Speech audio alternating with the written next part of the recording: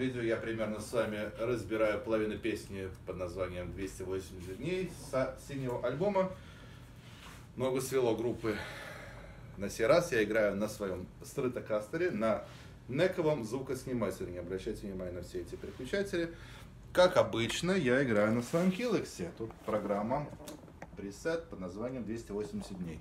Если вы хотите более детальную информацию получить о моих настройках, у меня есть русскоязычное видео, где я объясняю все свои как бы, эффекты и т.д.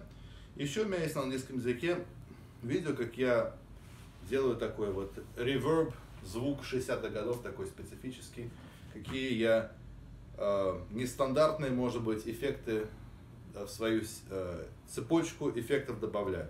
Как обычно, я уже, не знаю, очень много раз объясняю, я никогда не выключаю педаль distortion, если я хочу очистить свой звук, я либо э, вот прибираю ручку громкости, либо ставлю виртуальную педаль громкости, которая урезает входящий сигнал.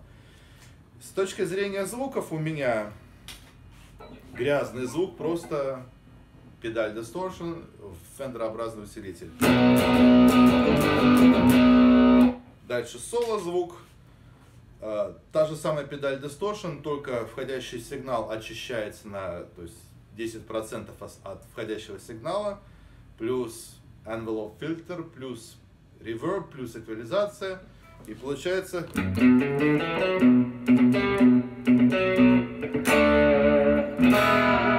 Почему я так делаю, вот это вот 10%, опять же, у меня нет времени прибирать громкость, и вот так я постепенно, постепенно приобщаюсь к тому, что можно на каждую кнопку сделать разные какие-то совершенно звуки, грязный, чистый и так далее. Следующий звук, это от, а, квакуха, опять distortion, опять вот этот вот а, эквализатор, опять тот же самый усилитель, я во всем пресете настройки усилителя не меняю, плюс дилей.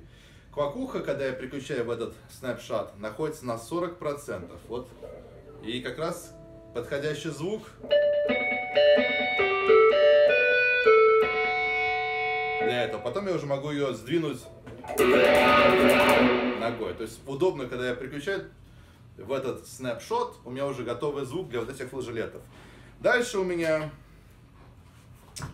а, вибрато звук, опять сигнал входящий урезается и какой-то дилей. И последний звук это адский а, distortion, где меня помимо моей обычной distortion педали находится вторая.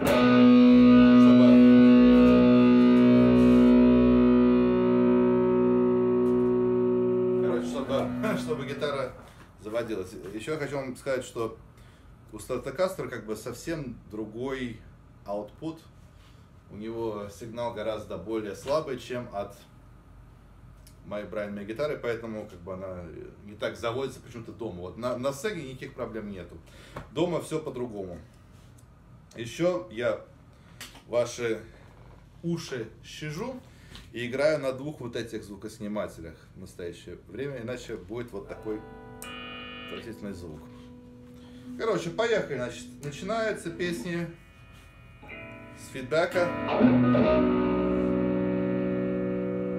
И поехали.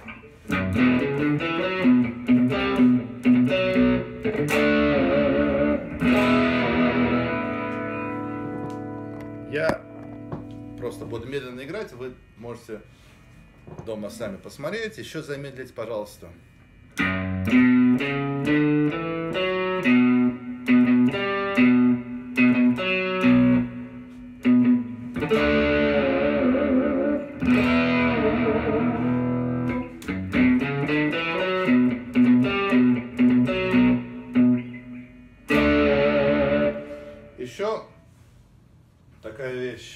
Если у вас гитара расстраивается, у меня тоже есть видео на эту тему.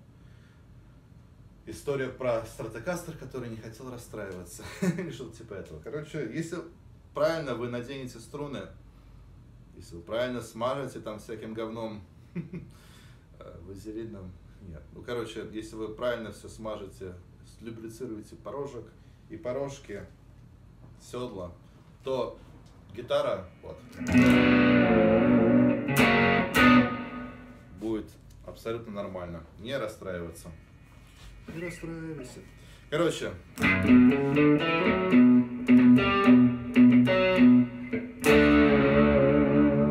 Ре мажор. Ми мажор.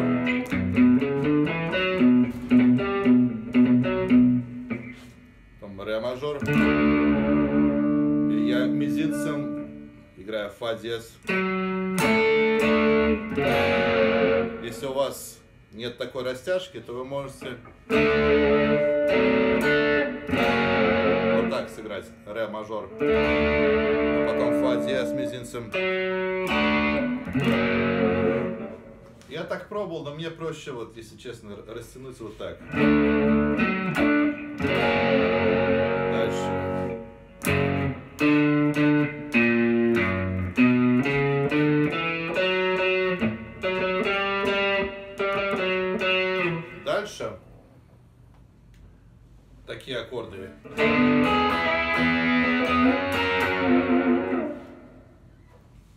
Я уже про это говорил, есть такая система обучения аккордов и аппликатуры, называется Caged. Вы блатные аккорды осваиваете и находите эти блатные аккорды всюду по грифу гитары. В данном случае а- аккорд ре мажорный вот такой.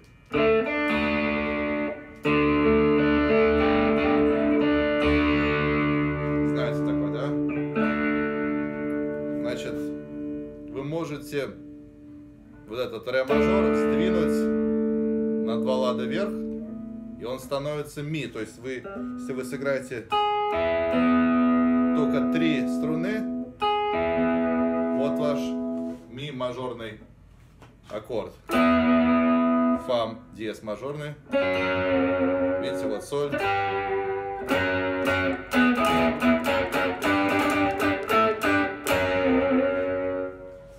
Очень интересный экс- эксперимент можно провести. Просто взять знакомые ваши аккорды и передвигать их вверх-вниз.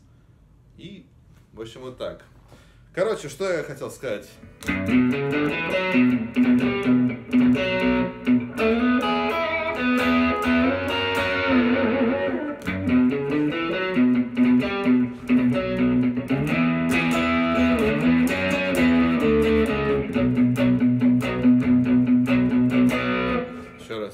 Ми, фа диез,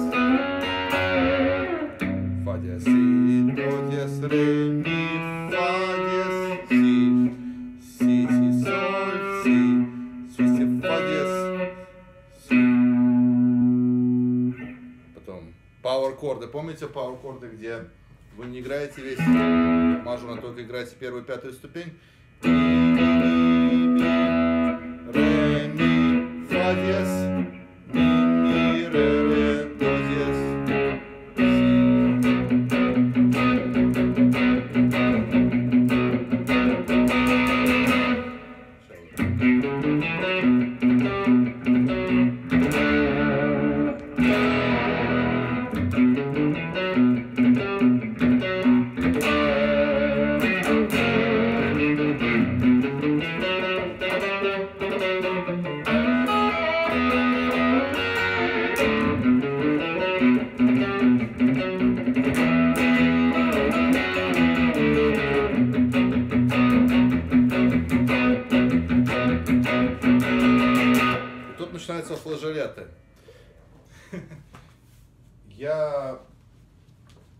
Думал, что это не флажолеты вначале, но потом я нашел старую какую-то старые съемки, концерты 98 года и понял, что это флажолеты. Значит, на гитаре есть на, на 12 ладу, на 9, на 5. Везде есть куча этих флажолетов. И, в общем,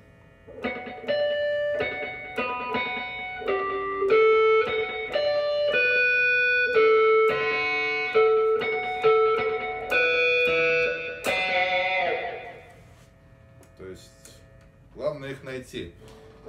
И вот видите, что такое флажолет? Если вы не знаете, посмотрите, наверняка много даже русскоязычных видео. То есть вы не нажимаете пальцем, а представляете палец, как вот, вот так вот, касаетесь струны во время того, как вы медиатором ударяете струну. И палец не между ладами, а вот точно вот здесь вот, где проходит вот это вот сам металлический лад, вот тут вот. Еще я использую тут гибридную технику, то есть не просто медиатором, а используя средний палец тоже. Давайте, короче, медленно вам покажу. То есть, видите, вот.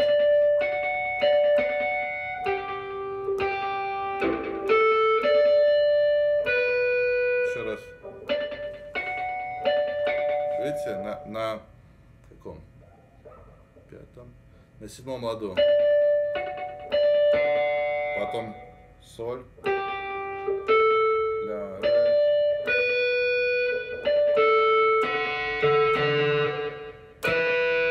А потом уже не флажолетом, а пальцами по-настоящему. Ну-ка, еще раз.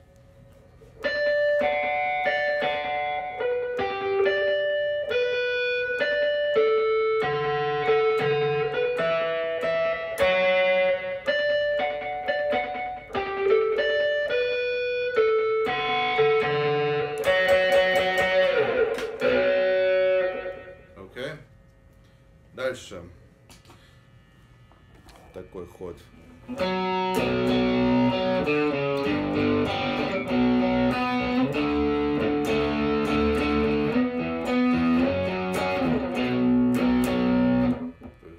Играете пауэр-корды.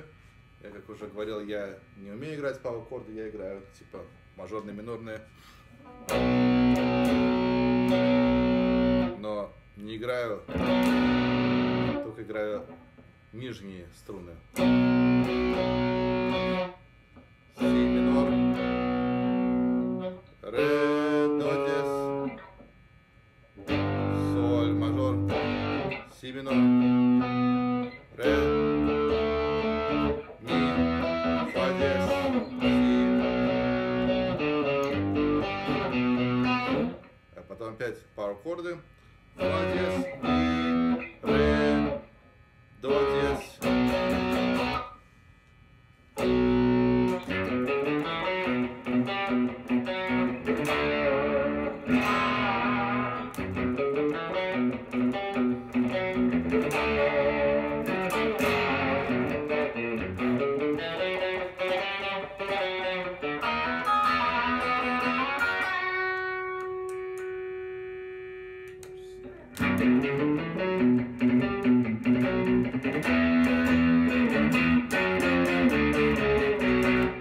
Вариация такая более восточная. Фа диез, фа, ре, до диез, си, си. Ну Вот и все, дорогие друзья. Продолжение в следующей серии. До свидания и удачи.